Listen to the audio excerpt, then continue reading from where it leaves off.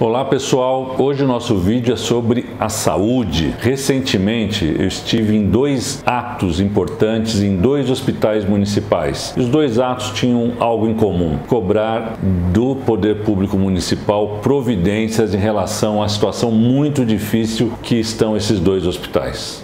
Acompanhe no vídeo.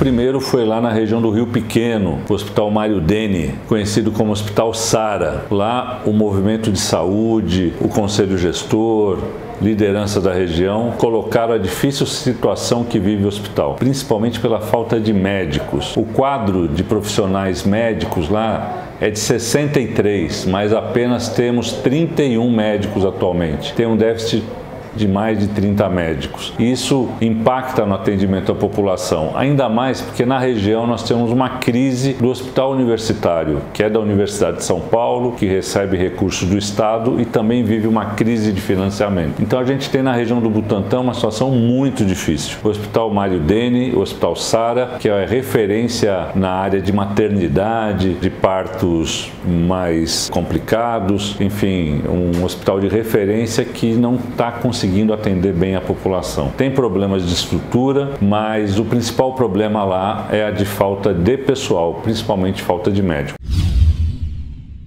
E o outro ato foi no Hospital do Campo Limpo. E aí a coisa é mais grave. O Hospital do Campo Limpo é um hospital maior, que atende uma região imensa, é um hospital gerido diretamente pela autarquia hospitalar e que também tem um quadro de falta de profissionais enorme. Lá faltam mais de 100 médicos, faltam muitas enfermeiras, atendentes de auxiliares de enfermagem e outros profissionais da estrutura administrativa. Isso gera uma situação muito difícil. Além da dificuldade estrutural que a prefeitura diz que vai resolver, está dizendo desde o início da gestão. O secretário veio a público num vídeo recente também dizer que várias providências vão ser tomadas, mas nós já escutamos essa história, infelizmente. Os elevadores continuam com problemas, o hospital precisa de reformas em várias áreas. Lá a gente tem uma situação muito difícil, pela falta de profissionais e também uma dificuldade estrutural. A prefeitura diz que vai resolver muitas das questões da saúde, que conseguiu um financiamento do BID de 100 milhões de dólares. E é verdade, ela conseguiu um financiamento do BID. Aliás, um parênteses: esse financiamento só foi possível porque o governo Haddad renegociou a dívida do município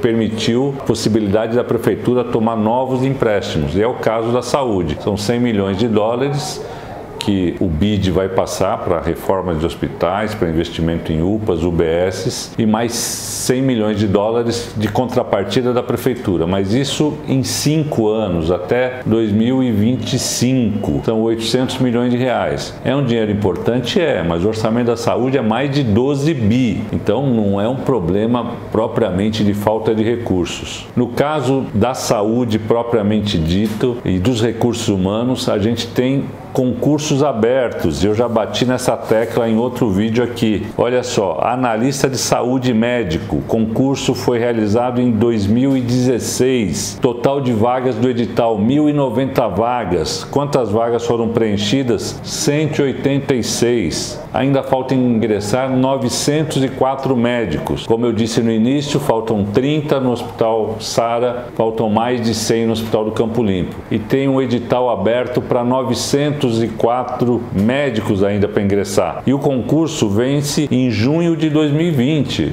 Mais seis meses o concurso vence. Então, tem o concurso, tem dinheiro em caixa, e cadê a vontade política de chamar esses profissionais? Cadê a vontade política de atender bem a população? Ou se quer gerar o caos para depois dizer para resolver precisa de uma organização social. As organizações sociais na saúde já consomem mais de 5 bilhões de reais desse orçamento da saúde e não são de fato a solução. Podemos discutir o papel das OS, esse é um outro debate, mas simplesmente deixar de contratar profissionais pela prefeitura e repassar para as organizações sociais não tem sido a saída, porque a situação da saúde no município continua com muitos problemas. Então a gente faz esse esse vídeo para alertar.